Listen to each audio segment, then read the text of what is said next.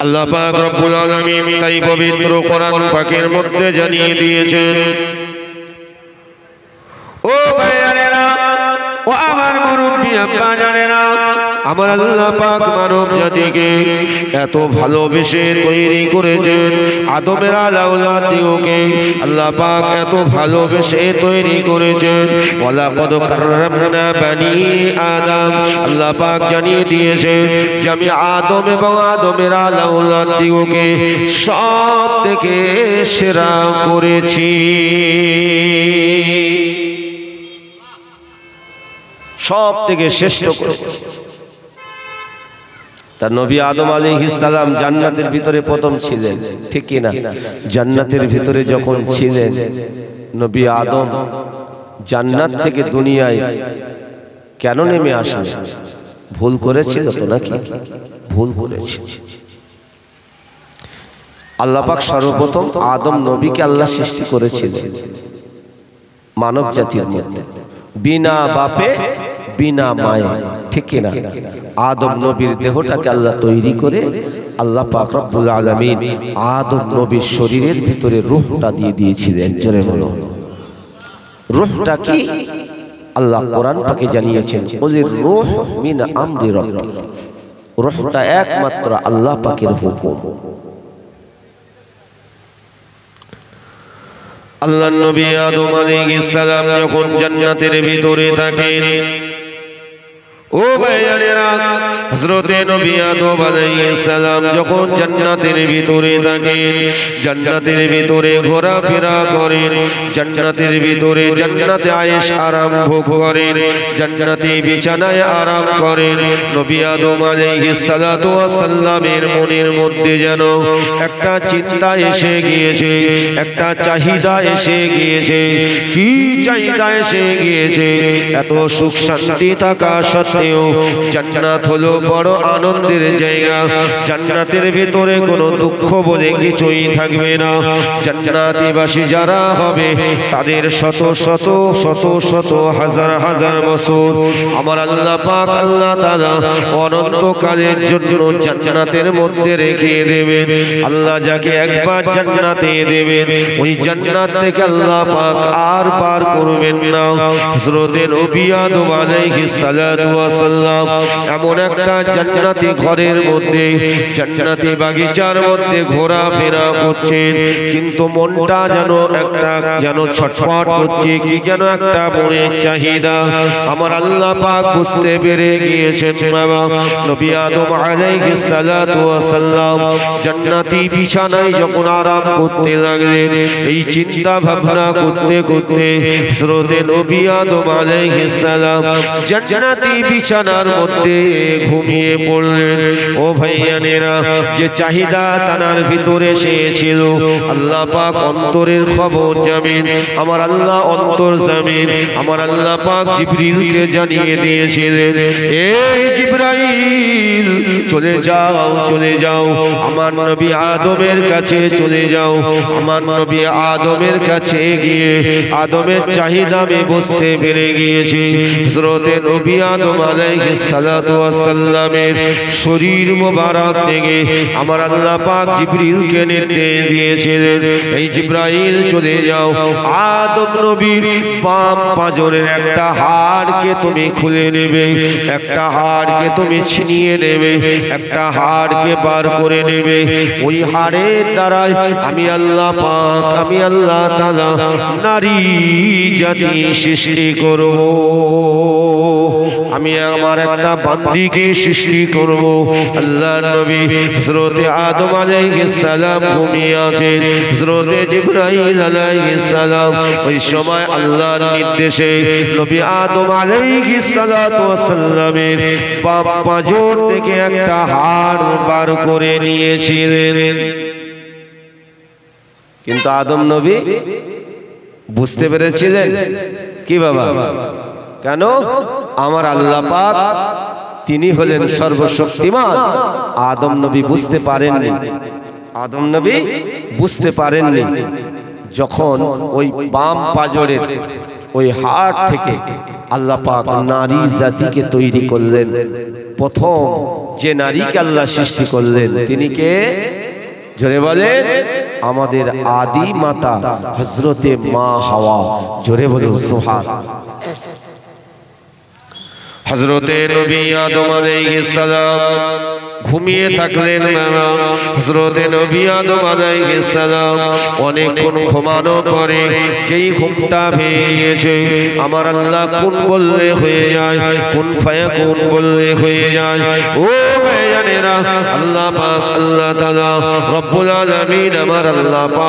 আদমের চাহিদাটাকে আল্লাহ করে দিলেন।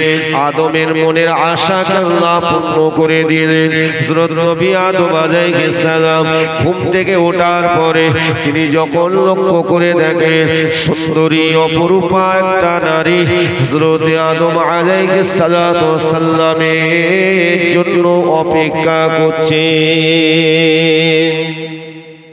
অপেক্ষা করছে।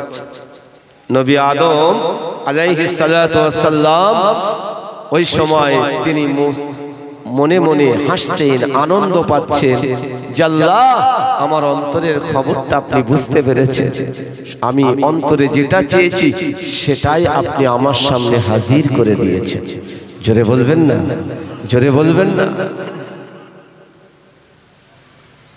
আদম আলাইহিস সালাম মোহরানা দিয়েছিলেন। ও ভাইয়ানেরা, মহারানা যারা বিয়ে করেছে, তাদেরকে মহারানা ধার্য করে বিয়ে করতে হয়, ঠিক কিনা?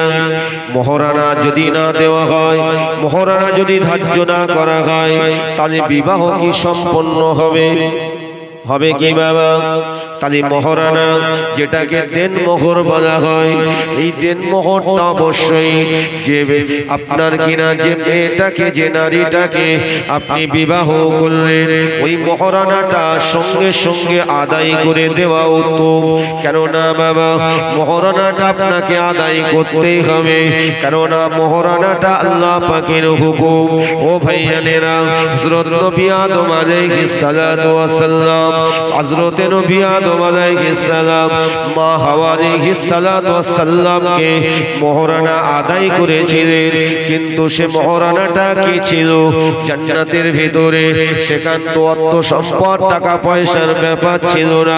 আমার বলার উদ্দেশ্য এখানে আল্লাহ পাক আমাদের নবীকে কি মর্যাদা আল্লাহ দান করেছেন বাবা? ওই সময় দেখতে পাওয়া যায়, আল্লাহ পাক আল্লাহ তাআলা রব্বুল আদম নবীকে আল্লাহ জানিয়ে দিয়েছিলেন হযরতে জিবরিল মারফতে। হযরতে জিবরাইল আলাইহিস সালাম বলেছিলেন ওয়াল্লাহ নবী আদম, আল্লাহ পাক আপনার খিদমতে, আপনার সেবার জন্য আল্লাহ পাক আল্লাহ তাআলা হাওয়াকে সৃষ্টি করেছেন, আপনাকে বিবি হিসাবে দান করেছেন। ও নবী আপনার বিবির মহারানাটা আপনি আদায় করুন। আলাইহিস সালাম বলেছিলেন, আমি কি মহারানা আদায় করব? আমি তো বুঝতে পারছি না। হযরতে জিবরিল বলেছিলেন ওয়াল্লাহ নবী আদম ওয়াল্লাহ নবী আদম, আপনি জান্নাতের ভিতরে, আপনি জান্নাতের ভিতরে। আল্লাহ পাকে জান্নাতের দরজায় কার নাম দেখেছেন? আল্লাহ নবীর পাশে কার নাম দেখেছেন? আল্লাহ পাকের জান্নাতের দরজায় লেখা আছে, লা ইলাহা ইল্লাল্লাহ। আল্লাহ ছাড়া কোনো মাবুদ নাই। পাশে লেখা আছে, মুহাম্মাদুর রাসূলুল্লাহ সাল্লাল্লাহু আলাইহি সাল্লাম। মুহাম্মদ সাল্লাল্লাহু আলাইহি সাল্লাম হলেন আল্লাহ পাকের নবী।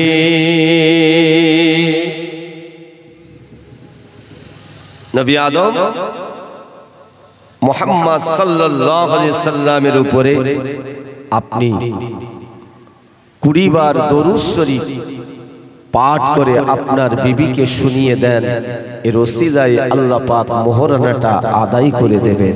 জোরে বলুন, সুবহানাল্লাহ। আমার আপনার নবীর আল্লাহ কত মর্যাদা দিয়েছে। এখন কি দরুদ পড়ে আদায় করলে হবে? হবে? কি? হবে না। অর্থের বিনিময়ে। মহারণা আদায় করতে হয়। আমরা যারা বিবাহ করেছি সবাই মহারণা আদায় করেছি তো। যদি না করে থাকেন তাহলে আজকেরই নিয়ত করুন যাদের বিবি হায়াতে আছে বুঝতে পেরেছেন মহারণাটা আদায় করে দেবেন। কেন? নই যে আপনি ঋণী হয়ে যাবেন। ঋণী থাকবেন কেয়ামতের দিন কেউ কারণ হবে না। হবে বাবা? হবে না। সেদিন সবাই হিসাব করবে আমি কার কাছে কি পাই।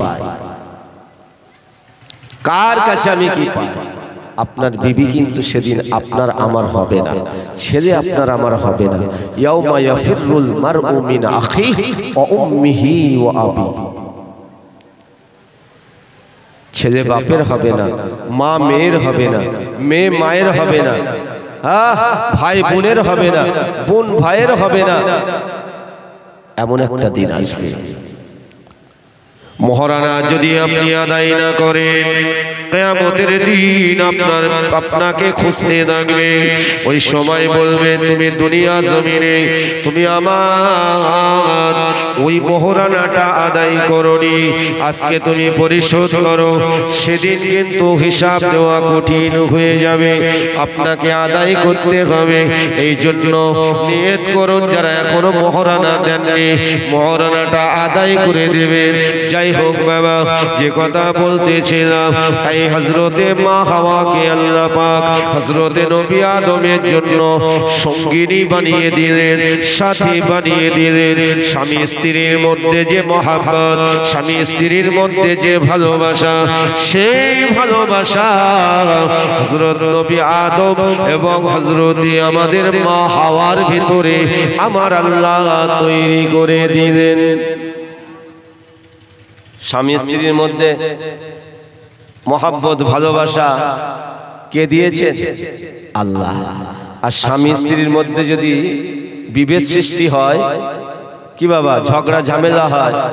তা এ বিভেদ সৃষ্টি, ঝগড়া, ঝামেলা কে তৈরি করে দেয়? যে ঘরে স্বামী স্ত্রীর মিল, মহব্বত নেই, যতই সে লক্ষ টাকার মালিক হোক না কেন, ও ঘরে আল্লাহর রহমত নেই। ঠিক ও ঘরে শান্তিও নেই। আর যে ঘরে স্বামী, স্ত্রী মিল মহাব্বত আছে, ভালোবাসা আছে, ওই ঘরে আল্লাহর রহমত আছে। জোরে বলুন সোফা মুসলমান গণের ছেলেরা, যুবকেরা আমার মুরব্বী, আব্বা, জানেরা, বোঝার চেষ্টা করবেন। পর্দানে সিনা মায়েরা, বোনেরা, হযরত নবী আদম আলাইহিস সালাম, হযরত মা হাওয়া সালামের ভিতরে আল্লাহ পাক এত মিল মহাব্বত তৈরি করে দিয়েছিলেন। এমনি তো আল্লাহ কোরআন পাকের মধ্যে জানিয়ে দিয়েছেন, স্বামী স্ত্রী কত কাছের, আল্লাহ পাক জানিয়ে দিয়েছেন, হুন্না লিবাসুল্লাকুম ওয়া আনতুম লিবাসুল্লাহুন্না ও ভাইজানেরা দুটো আঙুল যেমন এক জায়গায় করলে যেমন, ঠিক এরকম কাছাকাছি স্বামী স্ত্রীর মধ্যে মহাব্বত, ভালোবাসা থাকবে। তাহলে আল্লাহ পাকের রহমত হবে। নবী আদম মা হাওয়াকে না দেখলে থাকতে পারতেন না। আম্মা জান হাওয়া হযরতে আদম নবীকে না দেখলে থাকতে পারতেন না। ও ভাইজানেরা মুরব্বী আব্বা জানেরা, কিন্তু বাবা আলাদা হয়ে গেল কীভাবে? শয়তান মেনে নিতে পারল না যে জান্নাতের ভিতরে আমি আনন্দে ছিলাম, যে জান্নাতের ভিতরে আমাকে এত সম্মান আল্লাহ দিয়েছিল, যে জান্নাতের ভিতরে আল্লাহ পাকের ফারিস্তাদেরকে আমি শিক্ষা দিয়েছিলাম, যে জান্নাতের ভিতরে আমি মুআল্লিম উস্তাদ ছিলাম, আল্লাহর ইবাদত করেছিলাম, সেই আমি আজাজিল please আদমের জন্য আজ আমি বিতাড়িত হয়ে গেছে। আমি আর জান্নাতের মধ্যে প্রবেশ করতে পারব না। তাই আমার আমার জমির জ্বালা চেপেছে। আমি আদমকে কখনোই ওই জান্নাতের ভিতরে আমি থাকতে দেব না। তাই আজাজির ইবলিস শয়তান অনেক চেষ্টা করে পরিশেষে, ও ভাই জানেরা এমন ভাবে ধোকা দিয়েছিল। নবী আদমকে তো পারল না। হযরতে মা হাওয়া সাল্লামের দ্বারা ধোকা দিয়ে এমন মন করে দেখতে পাওয়া যায়, বাবা। ওই গন্ধমের ফল, ওই ফলের রসটাকে বার করে হজরতে হাওয়া কে এমন করে বুঝিয়ে বলেছিল, শোনো, তোমাকে আল্লাহ পাক জান্নাতের মধ্যে রেখেছে, তোমার স্বামী আদমকে জান্নাতের ভিতরে রেখেছে। তবে শুনে রেখে দাও, তোমরা কতদিন থাকবে জান্নাতের ভিতরে? আমি একদিন এই জান্নাতের ভিতরে ছিলাম, কিন্তু আমাকে আজ জান্নাত থেকে বিতাড়িত হতে হয়েছে। তবে শুনে রেখে দাও, তোমরা কোনোদিন জান্নাত থেকে আর পার হতে পারবে না। আল্লাহ তোমাদের পার করবে না। তবে আমি তোমাদের একটা যুক্তি দেই, আল্লাহ সব গাছের ফল খেতে বলেছে, কিন্তু ওই গাছের ফল খাওয়া তো দূরের কথা। ওই গাছের ধারে পাশে কেন যেতে মানা করেছে যেন এই জন্য মানা করেছে, আমার মতো তোমাদেরকে দুনিয়াতে ফেলে দেবে।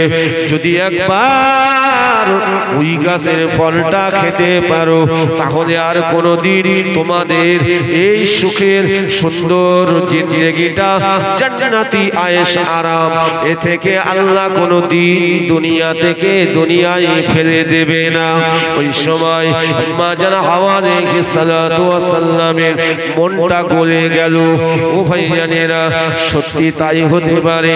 এই জন্য বাবা, নারীদের মনটা অতি নরম, ঠিক না নরম। যতই যতই বলুক না কেন, যে পুরুষ মহিলা সমান কখনো নয়। ঠিক পুরুষের বুদ্ধি আর নারীদের বুদ্ধি এক, কখনো নয়। কখনো নয়। মুসলমান করে ছেলেরা, যুবকেরা, কারণ আদম আলাইহিস সালামের পাঁজরের হাট থেকে, বাম পাঁজরের হাট থেকে আল্লাহ পাক আমাদের মা হাওয়াকে আল্লাহ সৃষ্টি করেছেন। ও ভাইয়ানেরা, তাহলে প্রথম নারী হলেন হযরতে মা হাওয়া। আম্মা জান হাওয়া আলাইহিস সালাম ওই সময় শয়তানের ধোকায় পড়ে গিয়ে ওই গন্ধম ফলের রসটাকে তিনি যে খাবেন, কিন্তু না স্বামীকে কীভাবে খাওয়াবেন আদম নবীকে কীভাবে খাওয়াবেন? ব্রিজ যুক্তি দিল, রস বার করে খাওয়াবে। আদম বুঝতে পারবে না। যখন কিনা এমন করে বাবা, ধোকা দিয়ে চলে গেল। ও ভাইয়ানেরা যে শয়তান আদম নবী মা হাওয়ারে সাল্লামকে যদি ধোকা দিতে পারে, পথভ্রষ্ট করার চেষ্টা যদি করতে পারে, কিন্তু পারেনি পারেনি পারেনি। হয়তো দেখতে পাওয়া যায়, ওই আল্লাহ পাক মানা করেছিলেন। কিন্তু আদম সালাম তো বুঝতে পারেন নাই। আদম সালাম তো তিনি রাজি তিনি হন নাই।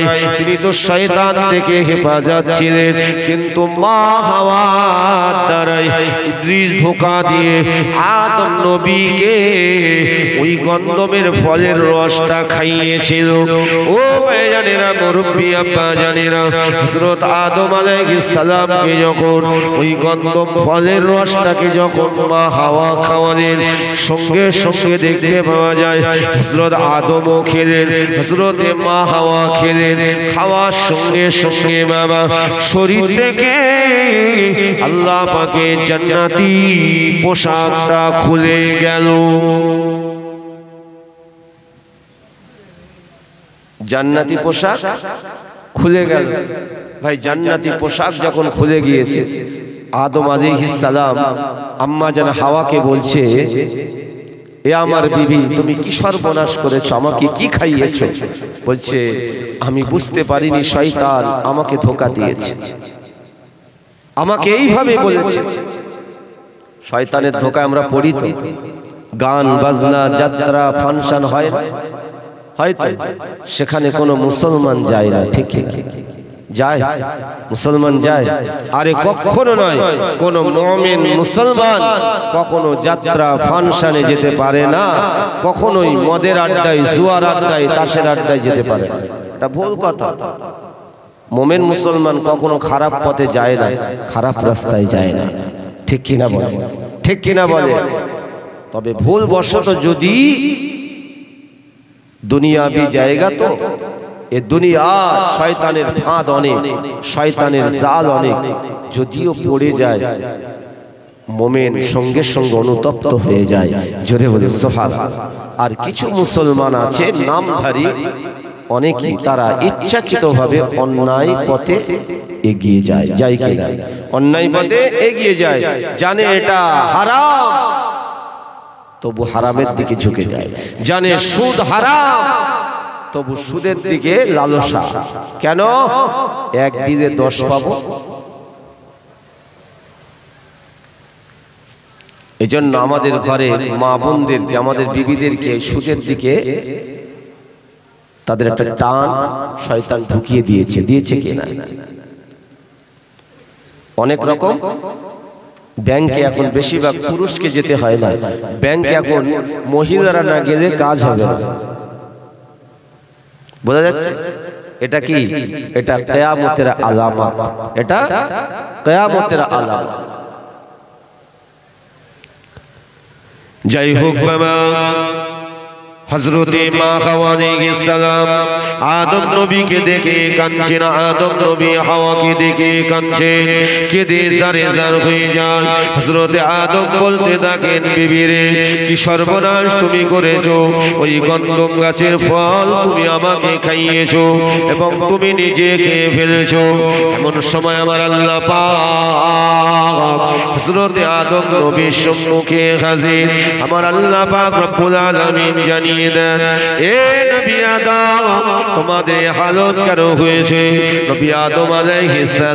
আমার আল্লাহ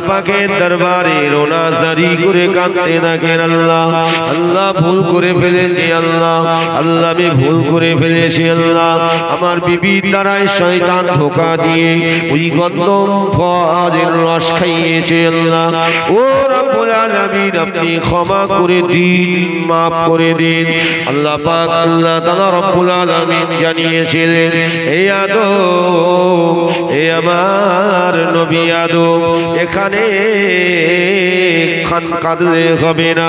এই জান্নাত কোনো দুঃখের জায়গা নয়। জান্নাত হলো আনন্দের জায়গা। জান্নাতে কোনো দুঃখ থাকবে না। জান্নাতের ভিতরে কোনো কষ্ট থাকবে না। জান্নাত হলো শান্তির জায়গা। আদম এখানে কাঁদলে হবে না। কাঁদার জায়গাটা হলো আলমে দুনিয়া।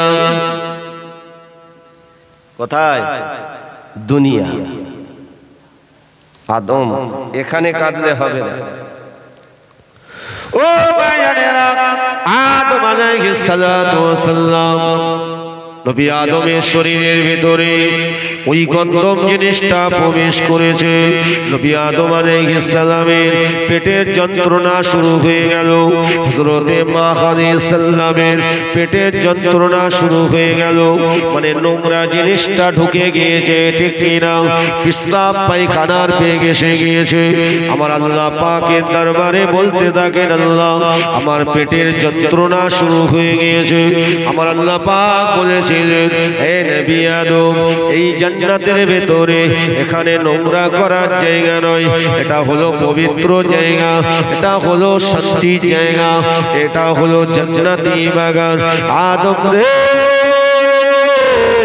ওই জায়গাটি হলো আলমে দুনিয়া। দুনিয়া কোথায়?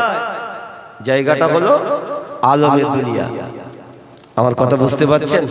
কীভাবে আলোচনা বুঝতে পারছেন? আলমের দুনিয়া। আমার আল্লাহ পাক বলেছিলেন আদম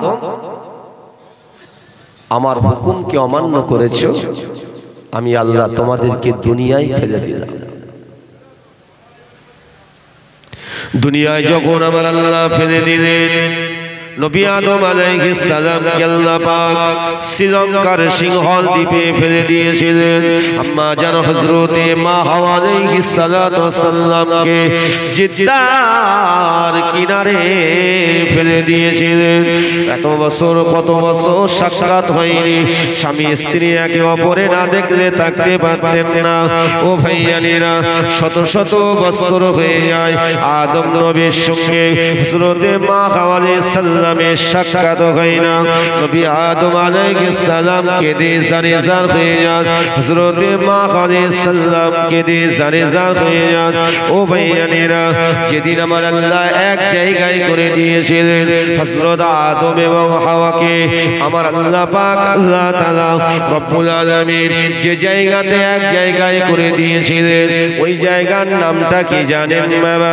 ও ভাইয়ানেরা, কোথায় সে জায়গা বাবা? হজের তিনটে ফরজ, হজের তিনটে ফরজ। প্রথম নাম্বার হলো হেরাম পরিধান করা, দ্বিতীয় নাম্বার হলো জিলহজ চাঁদের নয় তারিখে আরাফার ময়দানে হাজির হওয়া নয় তারিখে আরাফার ময়দানে যদি হাজির না হয়, হজ কবুল হবে না। ও ভাইয়ানেরা, তৃতীয় নাম্বার হলো আল্লাহ পাকের কাবা তওয়াব করা। এই তিনটে হলো ফরজ, হজের ফরজ, নির্দিষ্ট মেকার থেকে হেরাম পরিধান করা। দ্বিতীয় নাম্বার কি বলেছে? আরাফার ময়দানে হজের নয় তারিখে, জিলহজ চাঁদের নয় তারিখে আরাফার ময়দানে হাজির হতে হয়, প্রত্যেক হাজিকে হাজির হতে হয়। আর কিনা আল্লাহ পাকের কাবা তওয়াব করা। কেন? নবী আদম এবং মা হাওয়াজি সাল্লাম এই দুনিয়াতে, বিশাল দুনিয়াতে হ্যাঁ আল্লাহ দরবারে কানতে কানতে কানতে কানতে ওই আমার আল্লাহ পাক আরাফার ময়দানে দুজনকে এক জায়গায় করে দিয়েছে। জোরে বলবেন না? আর একটু জোরে বলবেন? কত কান্না কেঁদেছে। কত কান্না কেঁদেছে। আমরা আদমের আওলাদ, আদমের সন্তান। আমাদের চোখ দিয়ে আল্লাহর ভয়ে পানি পড়ে বাবা। কাঁদছি আমরা, অনুতপ্ত হচ্ছি।